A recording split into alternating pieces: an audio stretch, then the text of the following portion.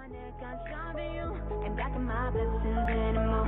Never be the girl I was before. I'ma let the good things in my